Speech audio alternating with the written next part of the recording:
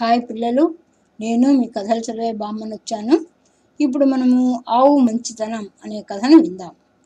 ఒక జమీందారుకు పాడి ఆవుల మీద ఎక్కువ మక్కువగా ఉండేది. పశువుల సంతలు జరిగే రోజుల్లో ఆయన తప్పకుండా తన పనివాళ్ళతో అక్కడికి వెళ్ళి నచ్చిన పాడి ఆవులను బేరమాడి కొనేవాడు. ఒకసారి పశువుల సంతలో జమీందారుకు ఏ ఆవు నచ్చలేదు. ఇంతలో ఒక రైతు తన పాడి ఆవును అమ్మాలని ఆవును దూడను తోలుకొని సంతలోకి వస్తూ కనిపించాడు. ఆవు చూడడానికి బాగా ఉండడం చేత జమీందారు రైతును ఆపి ఆవును అమ్ముతావా అని అడిగాడు.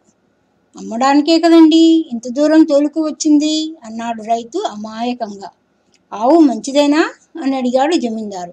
నా ఆవు నాకు మంచిది కాక చెడ్డదిగా ఎలా కనిపిస్తుంది బాబయ్య? అన్నాడు రైతు. అదేమన్నా పొడిచే లక్షణం ఉన్నది కాదు కదా? అని ప్రశ్నించాడు జమీందారు. కోపం తెప్పిస్తే పొడవకేం చేస్తుందండి? మనిషి అయితే కసురుతాడు పశువు అయితే పొడుస్తుంది. ఇది మామూలే కదండి అన్నాడు రైతు. సరేలే ఇంతకు నీ ఆవు రోజుకు ఎన్ని సేర్ల పాలు ఇస్తుంది అని అడిగాడు జమీందారు. అది తేల్చి చెప్పడం కష్టం బాబయ్య. కానీ ఒకటి నా ఆవు తన దగ్గర ఉన్న పాలన్నీ దాచుకోకుండా ఇచ్చేస్తుంది అన్నాడు రైతు. ఆ జవాబుకు జమీందారు చిన్నగా నవ్వుకుని మరేమీ ప్రశ్నించకుండా ఆవు అడిగిన ధరకు ఐదు వరహాలు అధికంగా ఇచ్చి ఆవును కొన్నాడు.